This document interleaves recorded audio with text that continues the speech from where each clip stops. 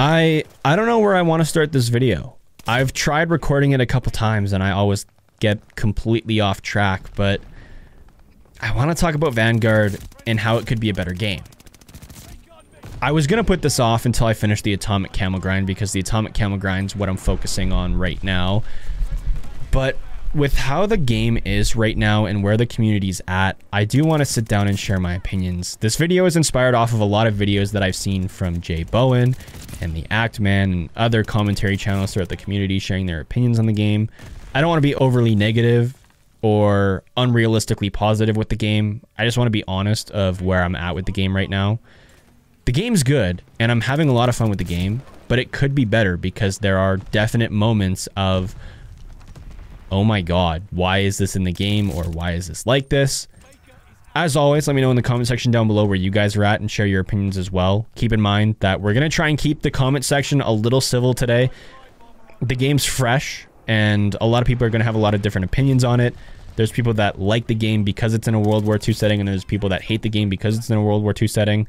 And I'm only going to focus on mainly campaign and multiplayer because those are what I've played. I still haven't touched the zombies yet and I want to save the zombies for an entire video in itself because that's a whole other beast to tackle. But let's start off with multiplayer. Out of the last couple Call of Duties in the Warzone era of Call of Duty, and for those that don't know what that is, personally for me, I break down Call of Duty into three eras. The Golden Era, which is the beginning of COD until Black Ops 2, where the community basically universally loved Call of Duty and there was barely anything that Call of Duty could ever do wrong. And then there was the experimental era of COD from Ghosts to Black Ops 4, where Call of Duty kind of lost its identity and was just doing whatever was popular in the gaming scene at the time, whether that was operators or advanced movement.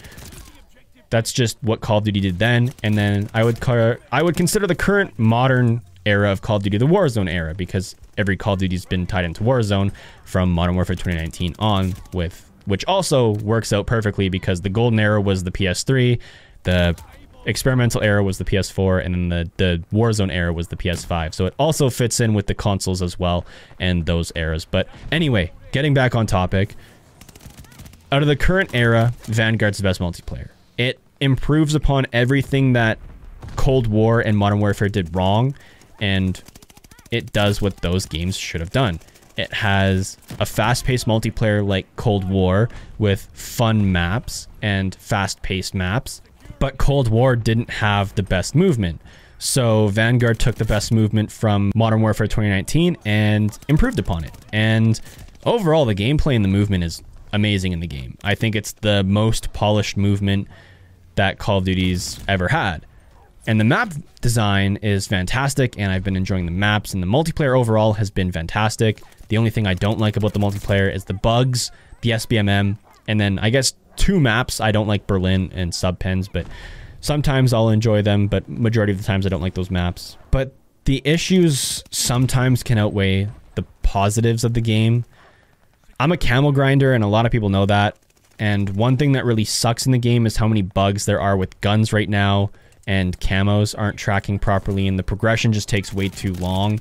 And the game's frustrating. SBMM will kick you when you're down. For those that don't know, SBMM is working a little bit different this year. SBMM takes your five previous games that you've played and will put you into skill-based matchmaking for your next five based off of how you did in those previous five. So it goes in like sectors of five. So your first five games dictate the skill-based matchmaking that your next five games are going to be in. But this this five games that you are about to play will dictate your next five. So it's kind of like peaks and valleys. If you do really well in your first five games, skill based matchmaking will pin you up against super sweaty tryhards in your second set of five games, and you'll get absolutely dogged on in your second set of five games. So your third set of five games will be against weaker players. And it's just, it kind of sucks because knowing that this year, I always know that second set of five games or whatever set of five games I have after doing really well is just going to be extremely boring and you just have to sit and play through it because you're not going to get out of that skill-based matchmaking until it registers you have five new games to base your skill-based matchmaking off of and that's what the gameplay in the background is I had a previous five shitty games where I got dunked on the entire time. And then all of a sudden in this game, I'm against bots and like low level free to play weekend players where I almost dropped two nukes. I think once I was three off of a nuke, and then the second time I was like six off of a nuke, or it might be vice versa. But it makes the multiplayer very inconsistent because you'll have good games and you'll have bad games, but they're like in sections of five. So you'll have five good games and then five bad games. Uh, uh of course, if you're in a playlist like Shoot House, or I guess what is it, Ship House 24 7, where it's Shipment and uh, Das House. I almost said Shoot House. I'm so like hardwired from Modern Warfare 2019 that it's Shoot the Ship in my head still, but the oh my god i forgot what it was called again. Like i just went to ship house. Oh it's ship house. Okay i'm stupid. Anyway unless you're playing in a chaotic game like that or a playlist like that you won't notice skill-based matchmaking as much but you definitely still will i do really love the combat pacing this year i've been playing blitz pretty much 24 7 it makes the game fast-paced and chaotic the entire time which is exactly how i like call of duty but I also love how it gives us the option to play tactical or assault as well. Uh, the only issue that I've had and a lot of people have had is sometimes the combat pacing doesn't put you into a match of where you want to be. And one thing that I also really want in the game and with combat pacing and just playlists in general is when there's a playlist in core, the exact same playlist should be in hardcore. For example, the Ship House playlist is only in core. You can only play core. There's no option to play it in hardcore. I still haven't seen shipment in hardcore yet, and I've pretty much been playing hardcore domination working on the LMGs exclusively within the past couple of days. And I've seen Das House, but I haven't seen shipment. So it'd be nice if they added some kind of balance to that where you could see it in hardcore as well. I know most people asking for that are camo grinders who want to play hardcore shipment to get camos like crazy fast. Um, but there are some people that want to play hardcore exclusively on those maps. So it would just be nice to see in the game because more options literally never hurt anyone. One of my biggest issues in Vanguard and how it could be so much better than it actually is, is the character and the theme of the game. It's a World War II era Call of Duty, but it doesn't feel like World War II. The characters are pretty one-dimensional and don't bring a lot to the table. Campaign is very weak. It's weak storytelling. And I actually want to jump into that because it also leeches into multiplayer as well. Because forever now, Call of Duty has always been influenced by its campaign. So the campaign pretty much sets the tone for the multiplayer. You look at multiplayers like Modern Warfare 2 and Modern Warfare 2019, and I guess not even Modern Warfare 2019, but just the older Call of Duties and the factions that you had. I'll use this example every time I talk about it, but it's the Modern Warfare 2 announcers and how many different versions of callouts you could hear, like when you heard enemy AC-130 above, depending on what faction you were playing as, that actually brought chills up your spine, and it brought some character to the game. Vanguard doesn't have that, and it feels like they're trying to be politically correct, which sucks because, spoiler alert, I don't give a fuck if there is political correctness in a Call of Duty game or not. I want it to tell a good story and to be fun to play.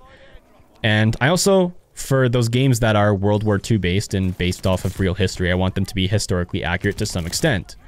I don't care about the weaponsmith and the gunsmith being realistic. Yeah, I know straight up that a lot of those attachments aren't real and the guns wouldn't function with half of those attachments. But I can suspend my disbelief for the attachments if they're realistic enough. And so far, Vanguard's attachments have been extremely realistic for the era. I know a lot of people are really upset that you can put like a drum mag on the STG. Like people are driven crazy because that's a thing. That type of realism I don't care about. The realism I care about is how the story is told. We're seeing a, a sem a somewhat we're seeing a somewhat fictional story told within Vanguard, where the campaign is actually trying to hunt down Hitler's successor at the end of the war and trying to stop the Nazis from furthering progression even after the war is over, which is really cool and really intriguing. But it seems like there's no risk or no emotion in the campaign. And I know a lot of people want the swastika to be represented in a World War II game for realism, but I kind of want the swastika to be in the game for a different reason. When I see the swastika myself personally, I am hit with so many emotions, and we're about to get kind of serious. When I see that symbol, I think about the history behind that symbol. I think about how that symbol has so much evil behind it and so much dread and terror and negativity. When I see that symbol, I feel emotions, emotions that I can't even describe through words because it's almost an overwhelming emotion that I feel when I see that symbol. That symbol has so much behind it. And when I think of it, it almost brings emotion that you can't find anywhere else. So when you take that symbol away in a World War II game, you also take away a lot of emotion that that symbol has. And symbolism is a huge thing in storytelling and in media. You can still tell a story with the Iron Cross replacing the swastika and how the Nazis were evil, but that symbol almost adds that extra touch. In the Vanguard campaign, it, it's all good and fun to kill the Nazis and win the war and kind of defeat the evil in quite literal terms but there's just not a whole lot of emotion in the story. And with the characters and the cast that they have, their Sledgehammer straight up themselves on Twitter has said, uh, not Sledgehammer's official account, but one of Sledgehammer's community managers on Twitter tweeted out, How do you like our diverse cast of characters in Vanguard? And that just goes to show that Sledgehammer's focus with Vanguard wasn't to be a game where it tells a good World War II story or to be a game that's historically accurate. They were focusing on telling a story that was inclusive and politically correct for the current era we live in. I have nothing against diversity and inclusivity, but when you're talking about World War II, one of the greatest human conflicts, that has shaped modern society, you have to have some realism and you have to be realistic. I don't care in media if a story is told by all females or all minorities. I don't care who has a job position as long as they're qualified and the most qualified, regardless of their background, their race, their gender. I don't care. Tell a good story. I don't care who has the position. But with Vanguard and a World War II game, I want the story to be pretty realistic for what we saw. I have no issues with World War II stories being told through the perspectives of females or minorities because there were females and minorities that fought during the war. Yeah, the majority of soldiers were white males, but it would be super cool and super interesting to see the real stories of these soldiers who fought in World War II that faced oppression not only by the Nazis, but by the people that they fought beside and the oppression they faced on their own like in their own military it would be super cool to see that through their perspective and have those stories told.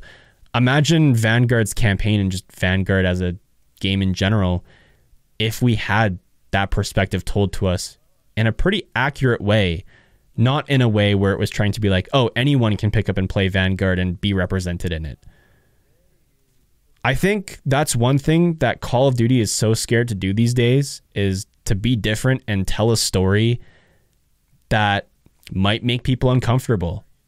Look at No Russian from Modern Warfare 2. That campaign mission went viral because of the story that it told. And the reason that No Russian was so impactful back then was because it was serious. Terrorism still is an issue and it was an issue even back then. So when you played that campaign mission it was oh my god i have so many emotions that are being brought out right now because this is a real issue. And we saw that with modern warfare 2019 with i don't remember what mission it was but it was the mission where you were in england and you were going through like the apartments and trying to take out the whatever terrorist organization was in that game Imagine if we saw that in a World War II game, current in like the current modern era. Imagine the storytelling and the potential that you have with doing that. but you take that all away when you remove the swastika and you remove the severity of the Nazi party. I think everyone knows the Nazis are bad, but you could show how truly evil they are in specific missions. You could show how people were treated and how minorities and females were treated back then by having specific characters share their stories and experience things that no one would ever think happened in World War II. You have so much potential to create a game that's not only realistic, but an incredible story. And you can Google hundreds of thousands of World War II stories of people that fought both on the Nazi side and the Allied side. There were Nazi soldiers that were fighting for the Nazis that were pretty much forced to because if they didn't, they would go to death camps or they would be straight up killed because that's how evil Nazi Germany was. You could tell a story from the perspective of a Nazi soldier who is trying to break free from his superiors and break free from what was going on and all the horrible things that happened. But Vanguard focused on inclusivity this year and focused on political correctness almost, what is it, 80 years after the war actually happened. So I understand completely why a lot of people are getting upset at Vanguard for not being realistic in that sense. But from my perspective, it just takes away from the impact that the game could have on the player. Vanguard's going to be an extremely forgettable game once it's over and once we get next year's Call of Duty. No one's going to think back at the Vanguard campaign and be like, whoa, that had an impact on the players. To this day, the no Russian mission is still having impacts on players. It is still brought up time and time again. That shows good storytelling and that shows the potential of what they could do. Sure, would social justice warriors get upset if you showed some hard truths about World War II? Obviously. God, you could tell them it's seven degrees outside and they'll find a way to get upset. They'll get upset because you didn't use Fahrenheit over Celsius or something stupid. At the end of the day, Vanguard has so much potential to be an incredible game. Campaign's pretty much a lost cause because the campaign's already done and you can't really rewrite a campaign.